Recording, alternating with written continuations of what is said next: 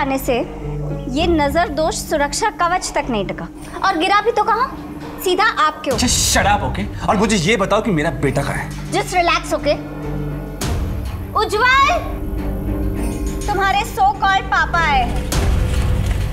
उज्जवल बेटा? उज्जवल? उज्जवल बेटा? उज्जवल? राधा? टाइम क्या हुआ है हफ़्ते में एक बार मैं अपने बेटे से मिलता हूँ। और उसमें भी तुम इतना लेट कर रही हो? चिल्ला क्यों रहे हो सचिन? आज संडे है। हाँ तो क्या हुआ संडे है तो? वो सोकर लेट उठा। मैं क्या करती? कुछ भी बोलती रहती हो तुम। पापा पापा। अरे वाह मेरा कैसे हो बेटा? जाओ। चलो हम जाएँगे। कम चलो अच्छा कम रुको। उज्जवल इसमें मैंने तुम्हारा टिफ़िन रखा है अच्छा? और मैंने तुम्हारे फेवरेट आलू के पराठे बनाए। खा लेना एक मिनट एक मिनट उज्जवल मेरा भी बेटा है तो उसे क्या और कब खिलाने में अच्छे से जानता हूँ। ये फेक की कंसर्न मत दिखाओ प्लीज़ ये लो बेटा क्या अच्छे खा लेना ओके चलो। अच्छा सुनो। अब क्या हुआ? वो सात बजे तक इसे घर वापस ले आना वो कल उसका स्कूल है ना? पता है मुझे पता है। और कुछ? चलो बेटा कम बाय बाय पहले हम मूवी जाएँगे then will go to a restaurant फिर हम जाएँगे। उज्जवल ध्यान से बेटा शरारत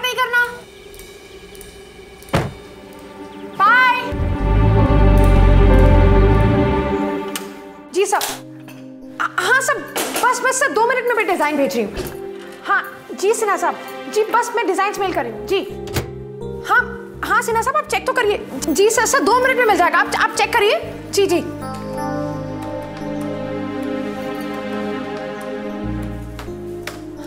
चलो ये काम भी हो गया। रिति जरा देखना। देख हूँ, देख हूँ, देख भगवान उज्जवल की स्कूल ड्रेस लेने के लिए स्कूल जाना था और और डिज़ाइन भी अप्रूव कराने हैं। बाद में करती हूँ। दीदी बैठ जाओ। अरे बैठ जाओ बैठ जाओ। काम के अलावा थोड़ा सा रिलैक्स भी कर लिया करो। रिलैक्स करने का टाइम कहाँ है रिति घर संभालना है ऑफ़िस जाना है और फिर उज्जवल उसे भी तो देखना है। दीदी तुम टेंशन क्यों लेती हो? मैं हूँ ना तुम्हारे साथ। तुम हो। ससुर जी का दिया हुआ ये घर है। और फिर उनके दिए हुए थोड़े से पैसे। ये सब है इसी वजह तो सरवाइव कर रही हूँ। बस अब तुम्हारा ये ex husband Sachin problems create करना बंद करे ना तो तुम्हारी आधी मुसीबत खत्म हो जाएगी। आजा मेरी गाड़ी में बैठ जा। लॉन्ग ड्राइव जाएँगे हम। आपकी ज़िंदगी के हर घटना के पीछे एक वजह ज़रूर होती है। जानिए गानों में छिपे अपनी प्रॉब्लम्स का कारण और उसके उपाय? बाबा आलोक? रिथि ये ये क्या है? भगवान ही जाने क्या है ये सब। शायद ये कहना चाहते हैं कि गानों के ज़रिए तुम्हारा भविष्य बता सकते हैं। ऐसा होता है क्या? टोटल नॉनसेंस हमारी प्रॉब्लम्स को दूर करने का दावा करने वाले मैसेज आए दिन हमारे मोबाइल पर आते रहते हैं। मैसेज मेल या एड के ज़रिए। बेहद ऑर्गेनाइज तरीके से हम तक पहुँचाने वाले ऐसे लोग, ये जानते हैं कि हर किसी की ज़िंदगी में कोई ना कोई मुश्किल होती है। और इसी मुश्किल को अपना हथियार बनाने वाले, ये भी जानते हैं कि हर आदमी अपनी प्रॉब्लम से बाहर निकलना चाहता है। मुश्किलों के आगे टूट जाने वाले लोगों को ये जाल बहुत जल्दी अपनी जड़ में ले लेता है। राधा ने अपने मोबाइल पर आए एक ऐसे ही मैसेज को अपने मोबाइल से डिलीट तो कर दिया था, पर तलाक के बाद उसकी ज़िंदगी आसान नहीं रह गई थी। ऐसे में क्या ये मैसेज उसके दिमाग से भी डिलीट हो गया था? पापा पहले मैं ना पिज्जा खाऊँगा और फिर कपकेक बेटा आपको जो खाना है खाओ। आज हम बहुत एंजॉय करेंगे बहुत। बेटा आप चिप्स खाओगे? हाँ। दोनों वाली? हाँ। मैं लेके आता हूँ अभी। ओ पान वाले भैया। लो पान यार।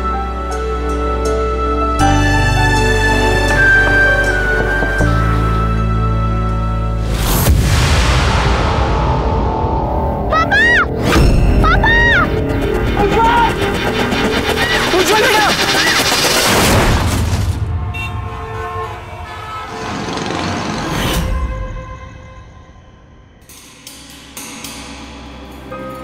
ये ये सचिन अभी तक आया क्यों नहीं है? नौ बज गए रिद्धि। रिलैक्स दीदी रिलैक्स उज्जवल आ जाएगा। प्रीति उसे कहा था ना कि सात बजे तक उज्जवल को घर पे ले आना? अरे नौ बज के ले आना चाहिए था ना उसे अभी। मैं मैं, मैं, मैं फ़ोन करती हूँ।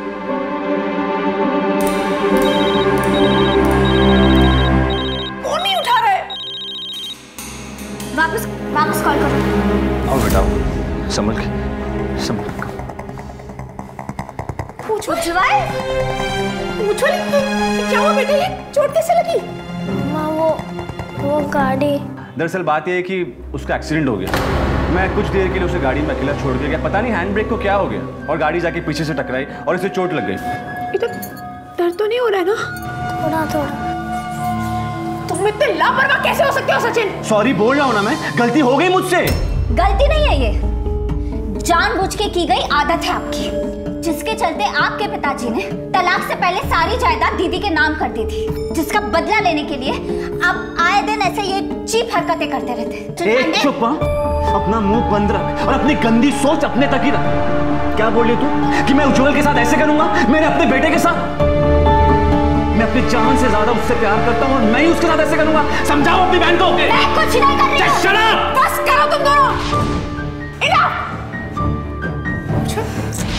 बेटा तुम अंदर जाओ अच्छा। तुम्हें शर्म नहीं आती है? अपने छोटे से बेटे के सामने तमाशा करते हुए? तुम तुम जाओ यहाँ से। जाओ। ए, मुझे भी यहाँ पे रुकने का कोई शौक नहीं है। वो दो लाख रुपए क्या हुआ जो मैं तुमसे एक महीने पहले मांगे थे? मुझे पैसों की सख्त ज़रूरत है। समझ में आ रही है मेरी बात? पैसों की सख्त ज़रूरत है मुझे। लाने की ज़रूरत नहीं है सचिन। सुनाई देता है मुझे। मैंने तुमसे उसी दिन कह दिया था कि मेरे पास तुम्हें देने के लिए कोई पैसे नहीं है। अरे बच्चे के स्कूल की एनुअल फ़ीस देनी है। घर के खर्चे कहाँ से लाऊं मैं पैसे? ऐसे वक्त में तो तुम्हें खुद आकर हमको पैसे देने चाहिए। और तुम हो के हमसे ही पैसे मांग रहे हो। Please mister Pandey do us a favour please जाइए यहाँ से। प्लीज़ निकालिए यहाँ से। Just get out Riddhi Riddhi. शांत हो जाओ तुम्हारे पैसे तुम्हें ही नहीं दिए। उस कमीनी के बाप की कमाई है क्या? अंचल प्लीज़ राधा को गाली मत दो। प्लीज़ क्या बात है? बड़ा प्यार आ रहा है तुम्हें अपनी एक्स वाइफ के लिए। एक तो तुम्हारे पापा ने सारी प्रॉपर्टी उसके नाम कर दी। अब वो है कि नागिन बनकर उस पर बैठी हुई सचिन मैं तुम्हें कह रही हूँ अब मैं तुम्हारी बीवी हूँ और इन पैसों पर मेरा भी बराबर का हक है। और वो तुम मुझे लाकर दोगे। कहाँ से लगे तुम आंचल तुम ही बोलो ना मैं कहाँ से लगे दूँ? अगर वो मुझे नहीं दे रही तो मैं क्या करूँ? चोरी करूँ? डाका डालूं? क्या करूँ? बोलो। नहीं अब तुम कुछ नहीं करोगे। बस देखो कि मैं अपना हिस्सा कैसे हासिल करती हूँ।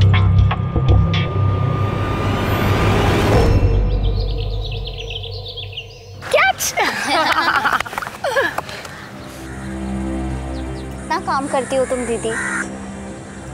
कभी कभी थोड़ा बहुत रिलैक्स कर लिया करो। फुर्सत कैसे दो पल बिता लिया करो। फुर्सत? फुर्सत ही कहाँ मिलती है दीदी? पूरा दिन काम में इतना उलझी रहती हूँ कि दिन कैसे गुजर जाता है पता ही नहीं चलता। मैं हूँ ना तुम्हारे साथ। हम जिम्मेदारियाँ बांट लेंगे तो तुम्हारा प्रेशर भी कम हो जाएगा। आई नो तुम हमेशा मेरे साथ हो। और इसीलिए आज तुम मुझे यहाँ लाई है ना इस गार्डन में खुली हवा खिलाने। हाँ खुली हवा और फ्री टाइम का मज़ा लो। मैं जानती हूँ आपको ऐसे मौके बहुत कम मिलते हैं। यू नो व्हाट मैं बहुत लकी हूँ। मुझे तुम्हारी जैसी बहन मिली। वरना मेरे डिवोर्स के बाद उज्जवल के अलावा मेरे पास अपना कहने के लिए और था ही कौन? ओ कमॉन दीदी। वो आदमी कभी भी तुम्हारे लायक था ही नहीं। और प्लीज़ हाँ आप इस माहौल में उसके बारे में सोच के अपना मूड स्पॉइल मत करो। जस्ट एंजॉय द मोमेंट अच्छा बाबा I am sorry let's enjoy okay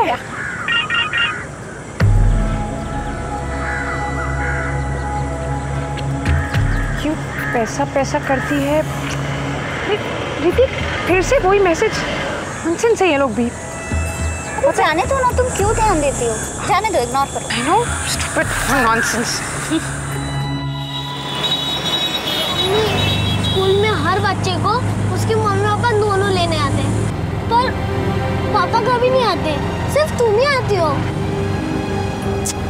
उचित बेटा ऐसे नहीं कहते हैं। आपके पापा बिज़ी रहते हैं ना तो आपको मामा लेने आती है। फिर क्या हुआ? ओके बच के रहना रे बापा बच के रहना रे।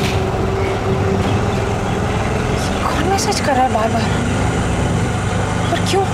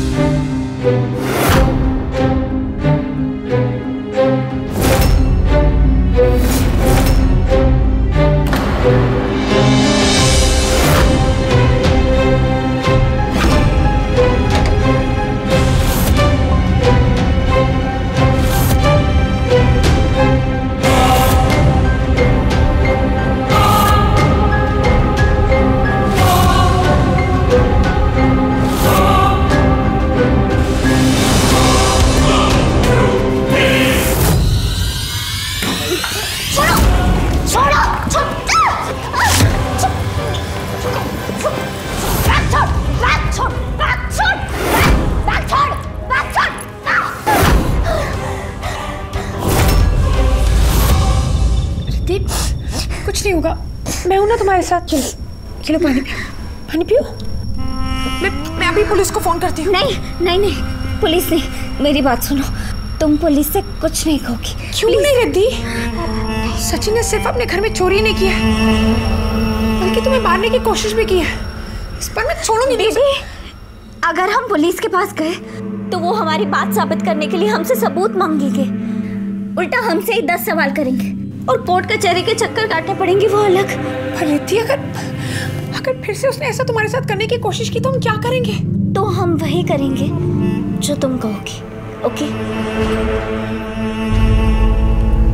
पता नहीं रिद्धि मुझे ये कहना चाहिए या नहीं? पर वो गाने वाले एसएमएस जो फ़ोन पर आ रहे थे मुझे लगता है कि वो हमें कुछ बताना चाहते हैं। कोई मैसेज देना चाहते हैं जो जो हम समझ नहीं रहे हैं। दीदी देखो तुम्हें बहुत ज़्यादा स्ट्रेस हो गया है। आप प्लीज़ इतना मत सोचो। मुझे बहुत नींद आ रही है। मैं सो जाती हूँ। आप भी सो जाइए। हाँ तुम तुम सो जाओ। चलो।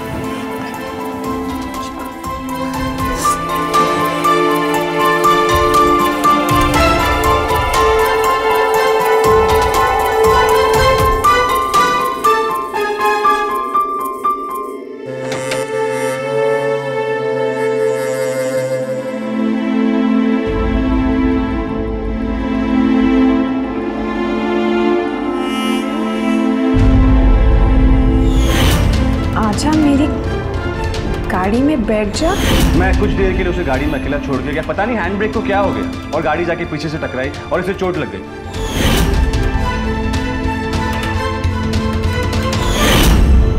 पैसा पैसा करती है।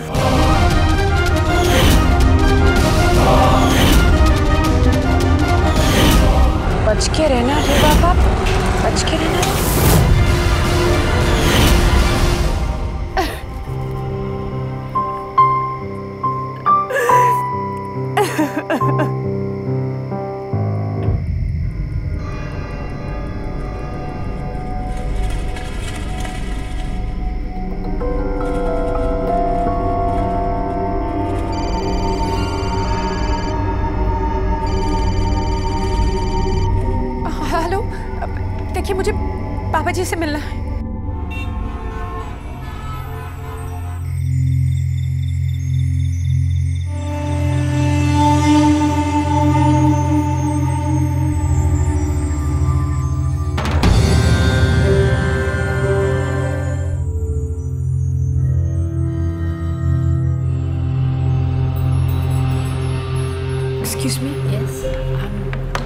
Radha Pandey.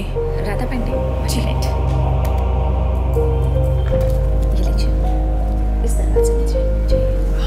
thank you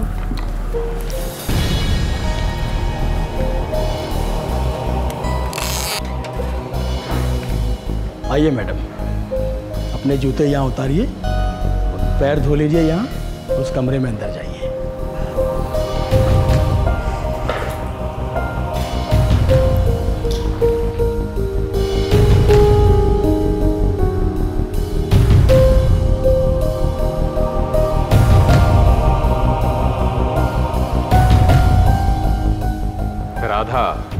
तुम्हारे यहाँ आने का कारण तुम्हारी प्रॉब्लम्स हैं।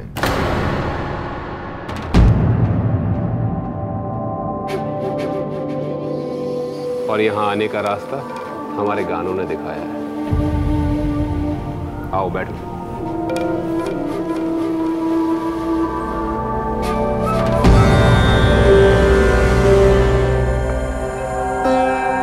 आप सच कह रहे हैं बाबा। आपके गानों ने हमेशा मुझे मेरी आने वाली प्रॉब्लम्स के बारे में आगाह करने की कोशिश की। पर मैं कभी समझ नहीं पाई।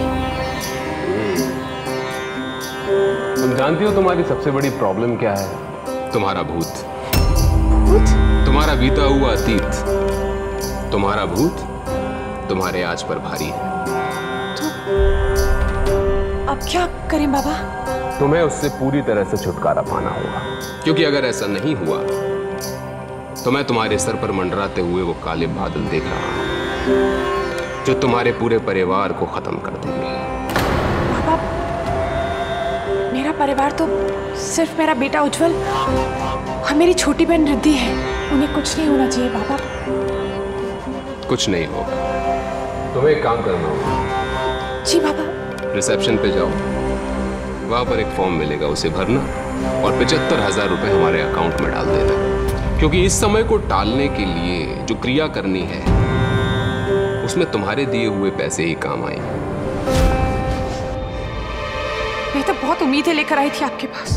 मुझे लगा कि आप एक दिव्य और सच्चे इंसान हैं पर आप भी उन सारे ढोंगी बाबाओं की तरह निकले जो सिर्फ़ और सिर्फ़ लोगों के पैसे इतना चाहते हैं। तुम्हारे पैसे ही तो तुम्हारी तकलीफ़ का जड़ है। मुझे समझाने की ज़रूरत नहीं बाबा। मैं समझ गई। सब कुछ अच्छी तरह समझ गई। अरे रुकिए। जाते जाते हमारी कुछ लाइनें तो सुन लीजिए। हुस्न हाजिर है मोहब्बत की सजा पाने को। कोई पत्थर से ना मारे हमारे भक्तों को।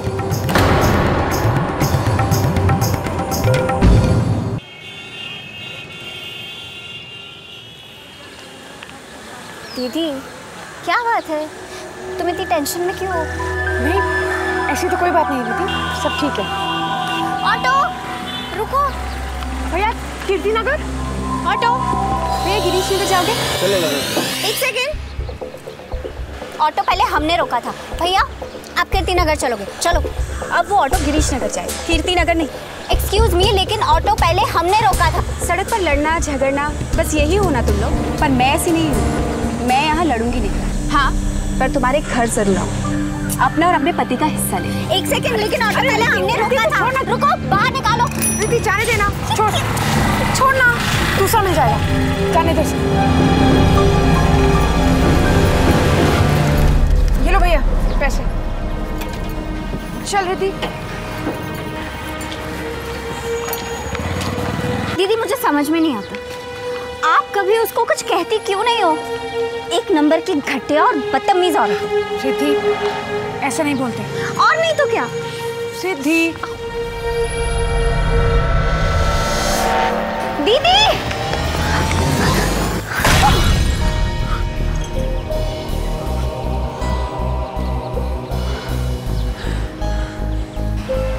भगवान। बच गए दीदी वरना अभी सर फूट जाता आपका।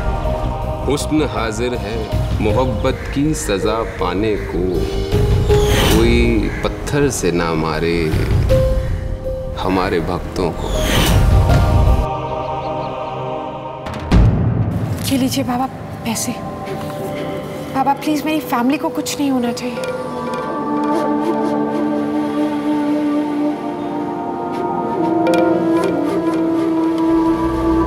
क्या हुआ बाबा जी? देख रहा हूँ। क्या? तुम्हारे साथ तीन लाशें। ला, ला, लाश लाशें कहाँ लाशें बाबा जी?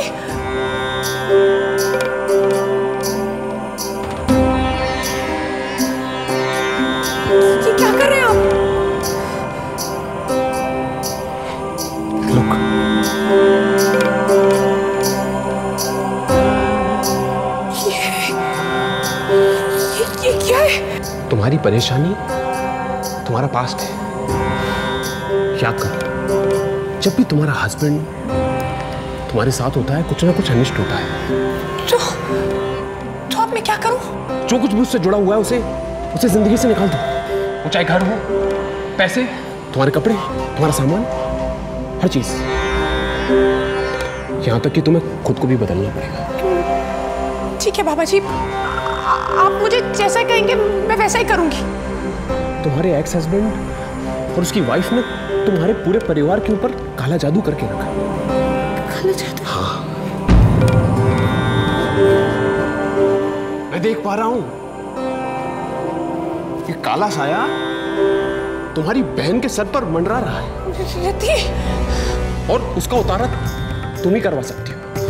उसकी कीमत तुम्हें चुकानी होगी। नहीं तो तुम्हारा पूरा परिवार खत्म हो नहीं नहीं नहीं नहीं बाबा बाबा जी प्लीज़ ऐसा नहीं होना चाहिए। आप आप जैसा बोलेंगे मैं वैसा करूँगी। प्लीज़ इस उज्जवल और रिद्धि को कुछ नहीं होना चाहिए।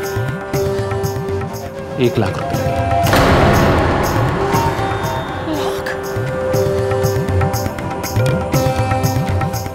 ठीक है बाबा जी मैं, मैं वो पैसे पैसे लेकर आती हूँ।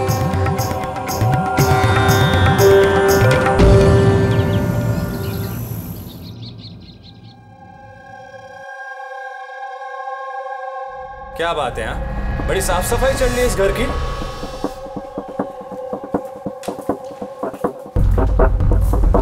तुम यहाँ क्या कर रहे हो? हम तुम्हें बर्बाद होने से बचा ले आए हैं। मतलब? हम जानते हैं कि कोर्ट कचहरी तुम्हारे बस की बात नहीं और इसमें इतने पैसे खर्च होंगे। समय बर्बाद होगा और जब तक हमें हमारा हक मिल चुका होगा ना तब तक तुम बर्बाद हो चुके तो इसलिए ये अच्छा है कि तुम हमें हमारा हक दे दो और खुश रहो। अब ये जो तुम्हारी आँखें हैं ना, इनका जादू नहीं चलेगा और ना इन आंसुओं का। सारी प्रॉपर्टी और बैंक के पैसों को मिलाकर एक करोड़ रुपए होते हैं। कोर्ट के बाहर आधे तुम रख लो और आधे हमें दे दो और ज़िंदगी भर खुश रहो। सच तुम भी यही चाहते हो? अरे अरे अरे। अब ये पराए पुरुष है। सचिन नहीं, सचिन जी कही और अब ये कोई बात नहीं करेंगे मैं आंचल सचिन पांडे बात करूँगी वाह मिस्टर एंड मिसेस पांडे।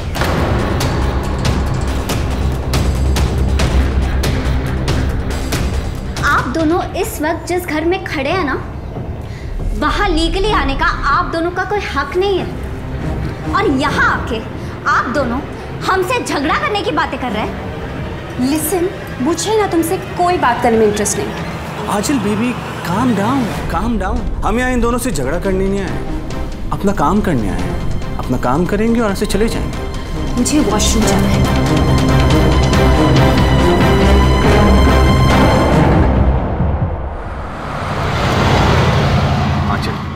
मेरी एक बात समझ में नहीं आ रही है। तुम्हें राधा से इस तरह से बात करने की क्या ज़रूरत थी?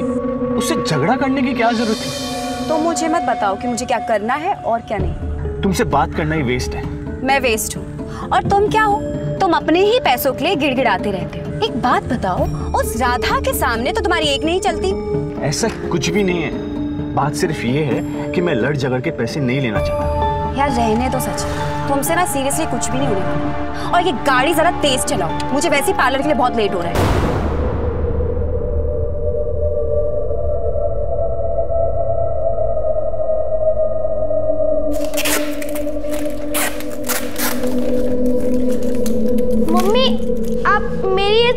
चप क्यों फेंक रही हो मेरे बैट बॉल और मेरी स्टोरी बुक्स वो उज्जवल बेटा ये ये पुरानी हो गई ना हम इन्हें फेंक देंगे।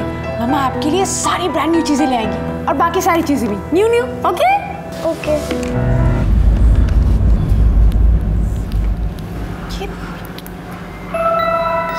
इसकी स्मेल कहाँ से आ रही? मुझे? बेटा मासी कहाँ है मासी? वो तो किचन में है। मैं देख पा रहा हूँ।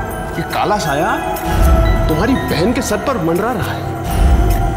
रिद्धि! रिद्धि!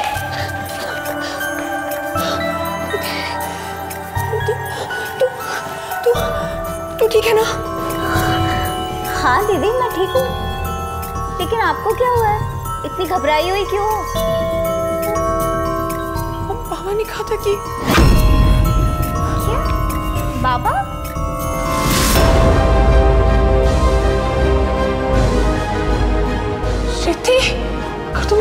चला दिया होता तो तुम? बाबा सच कह रहे थे। कुछ सच कह रहे थे। थैंक गॉड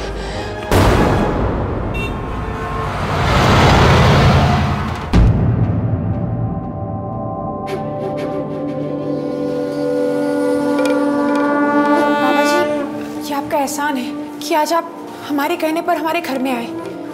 आपने जो कहा था जैसा कहा था वो सब सच हो रहा है। इनफैक्ट कल तो रिद्धि मरते मरते बची है। देख रहे हैं। और महसूस भी कर रहे हैं। इस घर के कोने कोने में सिर्फ़ और सिर्फ़ नेगेटिविटी है।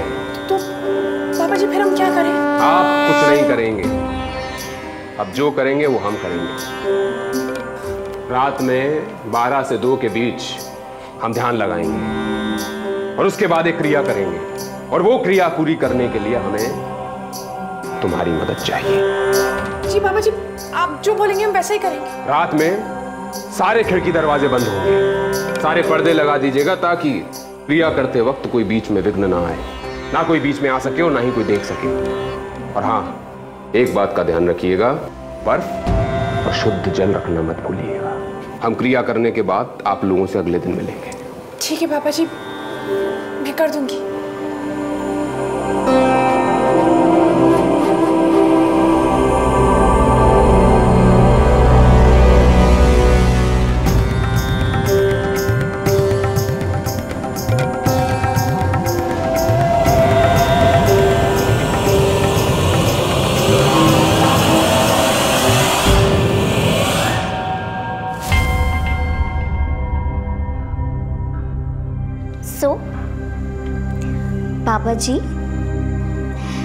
कंग्रेचुलेशंस आपकी साधना से इस घर के सारे भूत प्रेत भागने लगे।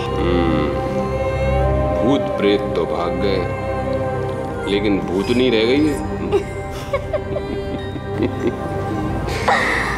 ये तो बस शुरुआत है। मुझे तो वो सब कुछ चाहिए जो यहाँ है और बैंक में। है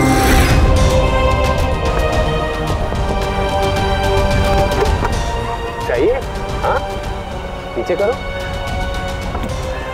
कौन सा बलून चाहिए आपको? ब्लू ब्लू आप ग्रीन वाला लो। ले लो। ले लो ले लो।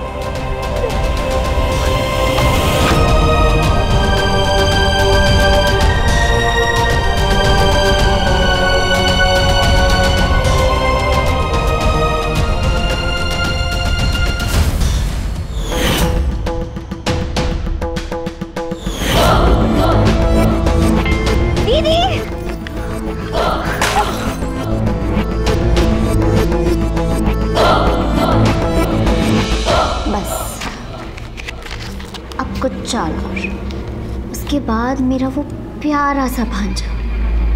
भगवान उसका भला करे। वो हम दोनों को करोड़पति बना देगा।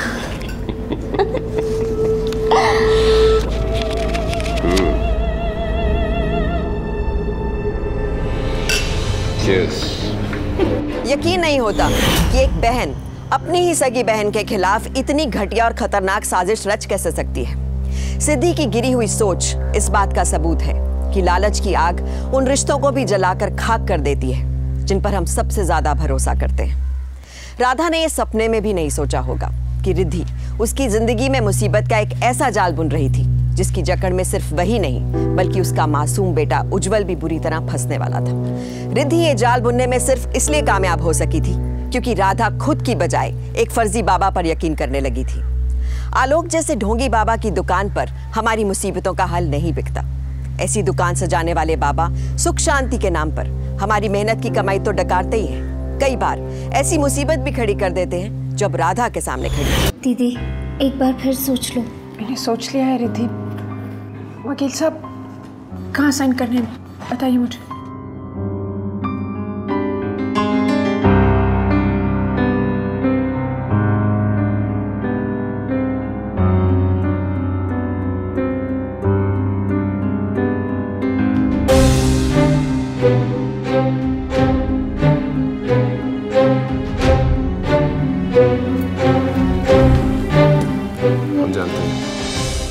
कीमत इस मकान की कीमत से बहुत कम है। फ़िलहाल आप सभी के लिए मैंने एक फ्लैट अरेंज कर दिया आप वहाँ शिफ्ट हो सकते हैं। हाँ बोल। हाँ बस मैं अनपैकिंग कर रही थी। हाँ। अच्छा सुन। तू आते आते ना घर के लिए पर्दे ले आना और वो रिंग्स लाना मत भूलना। हाँ बाकी मैं कर लूँगी। चल। Okay okay bye bye Radha? क्या हो गया तुम्हें हाँ? तुम्हारा दिमाग तो ठिकाने पे है। तुम अच्छे से जानती हो उस घर की कीमत एक करोड़ से ऊपर है। और फिर भी तुमने उसे सिर्फ़ पंद्रह लाख में बेच दिया? सिर्फ़ पंद्रह लाख? मैं तुमसे बात कर रहा हूँ, राधा। तुम अच्छे से जानती थी कि मुझसे अलग होने के बाद एक वही प्रॉपर्टी है, जिसके सहारे तुम चैन और सुकून के साथ रह सकती थी। फिर ऐसी क्या मजबूरी आ गई कि तुमने उस प्रॉपर्टी को इतने सस्ते में बेच दिया? बोलो, राधा, बोलो। तुम और क्या करती मैं? तुमने और कोई ऑप्शन ही नहीं छोड़ा था मेरे लिए। तुमने और तुम्हारी ये सो कॉल बीवी ने मेरी ज़िंदगी बर्बाद कर दी। हर पल हर घड़ी हर मिनट दहशत में जी रही हूँ मैं। दहशत? ये क्या कर रही हो तुम? अभी तक तो मैंने कुछ कहा ही नहीं है सचिन। कुछ भी नहीं कहा मैंने। तुमने मुझे छोड़कर दूसरी शादी कर ली। मैंने तब भी कुछ नहीं कहा। डिवोर्स मांगा मैंने तब भी कुछ नहीं कहा। और इससे भी तुम्हारा जी नहीं भरा तो तुमने तुमने कोर्ट जाकर उज्जवल की जॉइंट कस्टडी मांगी। वो भी दे दी मैंने। अब क्या बचा है मेरे पास तुम्हें देने के लिए? प्लीज़, मैं तुम्हारे हाथ जोड़ती बख्श तो हमें। मुझे, मेरे बच्चे को और मेरी बहन को अकेला छोड़ दो। मत नुकसान पहुंचाओ हमें प्लीज़ राधा, तुम क्या कह रही हो? ऐसी कोई बात नहीं है। तुम्हें ज़रूर कोई गलत फहमी हुई है। हम अलग ज़रूर हुए हैं, राधा। लेकिन अब भी मैं तुम्हारी उतनी ही इज़्ज़त करता हूँ जितनी पहले किया करता था। और चाहे कुछ भी हो जाए, राधा, मैं तुम्हें और अपने बेटे को कभी नुकसान पहुँचाने का सोच भी नहीं सकता। कभी नहीं।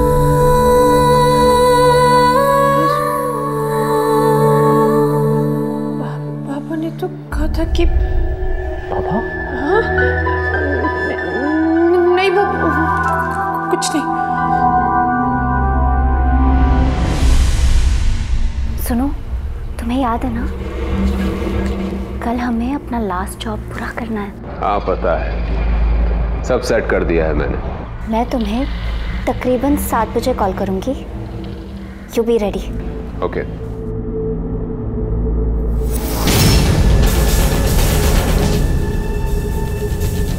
दीदी। रिद्धि वो तुम्हारे लिए खाना लाई। ये लो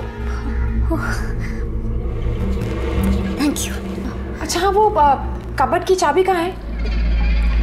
वो बाबा जी को एक लाख रुपए देने हैं मुझे। हाँ वो हम्म, चाबी ओके। खाना खा लेना याद से। हाँ।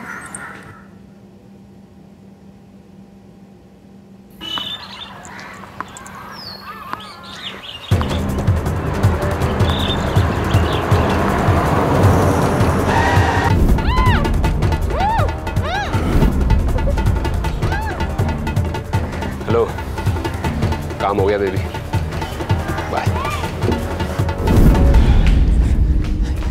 भाई साहब भाई साहब ये मेरा बेटा है उज्जवल। यहीं कहीं खेल रहा था आपने देखा है? भाई साहब देखिए आपने देखा होगा। उज्जवल! भाई साहब भाई साहब एक एक सेकंड। ये ये मेरा बेटा है उज्जवल। यहीं के खेल रहा था आपने देखा है कहाँ है? सॉरी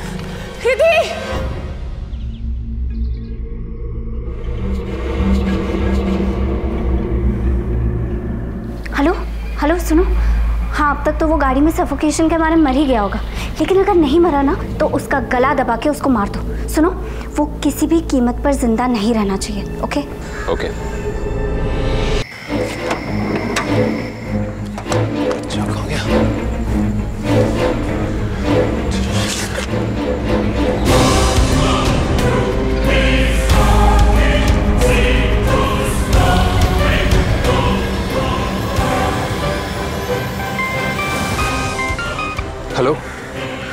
कार में से बच्चा गायब हो गया। मतलब तुमने गाड़ी को ठीक से लॉक किया था कि नहीं? अरे ऑफ़ कोर्स किया था।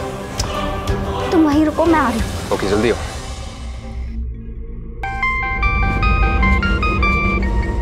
अरे ये तो मेरे मेरे फ़ोन की रिंग है।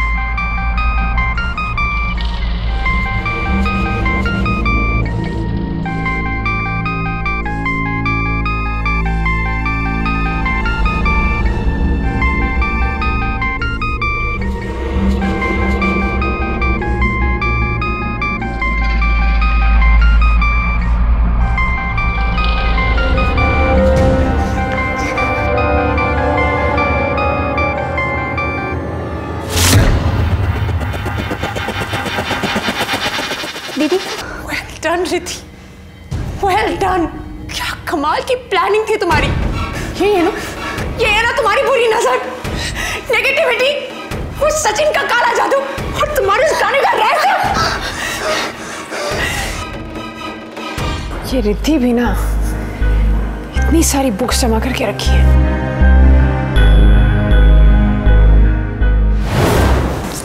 मैसेज कहाँ बज रहे हैं?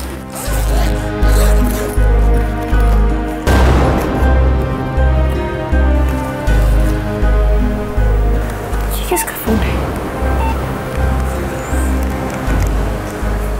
पापा के मैसेजेस ये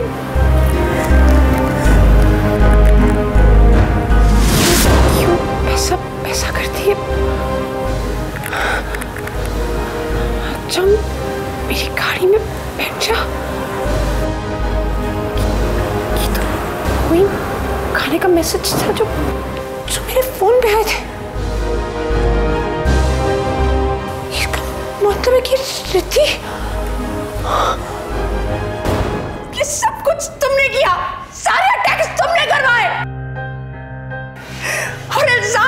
बेचारे सचिन और आचल पर लगा दिया। लेकिन यू नो व्हाट पर जब से तुम्हारी तुम्हारी ये चीज़ें मेरे हाथ लगी है ना, तब से मैंने तुम पे नज़र रखनी शुरू कर दी थी। तुम्हारे हर एक मूवमेंट पे, तुम्हारी हर एक चाल पे नज़र थी मेरी।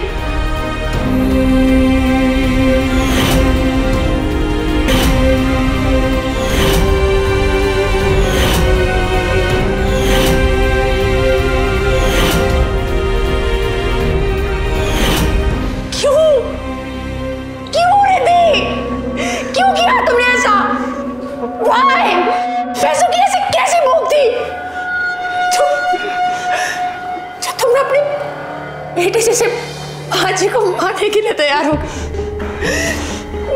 but you know what you know what Riddhi हारने वाले से बचाने वाला कहीं ज़्यादा बड़ा होता है। राधा।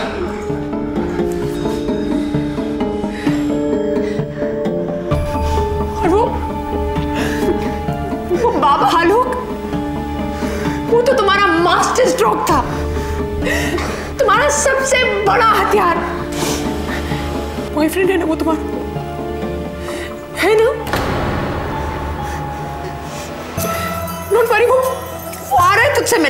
आ रहे हैं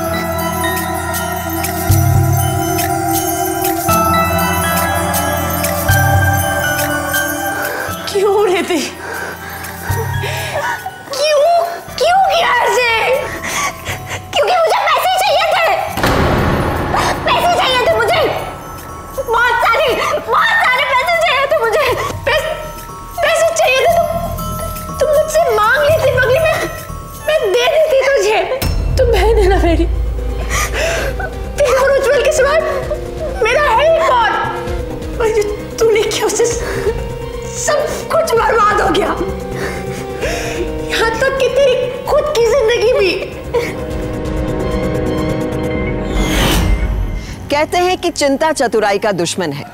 कई बार मुश्किलें इंसान को गहरी चिंता में डाल देती हैं। ऐसे वक्त में अक्सर सोच और सब्र दोनों का साथ छूटने लगता है और उसी मुश्किल से निकलने की छटपटाहट में हम अक्लमंदी रखना भूल जाते हैं। हमारी यही भूल और यही कमज़ोरी हमें उस जाल में फंसा देती है जिसमें राधा फंसी। हमारी मुसीबतों का हल सिर्फ़ हमारे पास है, किसी फर्जी बाबा के पास नहीं। ऐसे लोग रुपया ऐंठ हमें आर्थिक तौर पर खोखला तो करते ही हैं। हमारा मानसिक अपहरण भी कर लेते हैं और हमें अपने इशारों पर नचाकर उस मुसीबत में डाल देते हैं, जिसका अफसोस हमें ज़िंदगी भर की टीस दे जाता है। मुश्किलें चिंता से नहीं, चिंतन से दूर होती हैं। इसलिए मुसीबत में अपनी बुद्धिमत्ता का इस्तेमाल कीजिए, क्योंकि सावधानी आपकी सुरक्षा आपकी